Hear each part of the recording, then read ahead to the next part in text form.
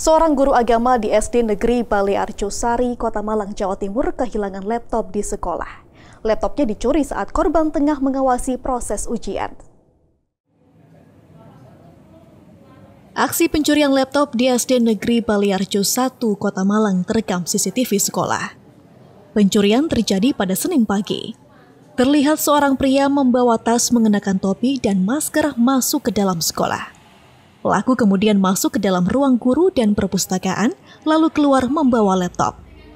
Usai memasukkan laptop ke dalam tas ransel, pelaku langsung kabur.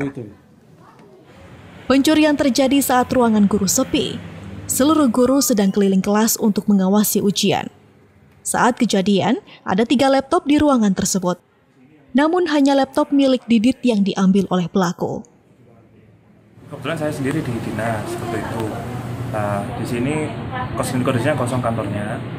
Karena guru-gurunya itu sudah masuk kelas masing-masing ada ujian. Nah, waktu itu sekitar setengah sembilan sampai jam sembilan eh, pelakunya masuk mengambil laptop sama ya laptop aja sih laptop aja kondisinya di ruangan itu ada tiga laptop tapi yang diambil satu laptop pada posisi itu keliling keliling kelas ngecek apa per kelas ujian ujian Korban telah melapor ke polisi dan berharap pelaku segera ditangkap. Dedi Prasetyo, Kompas TV Malang, Jawa Timur.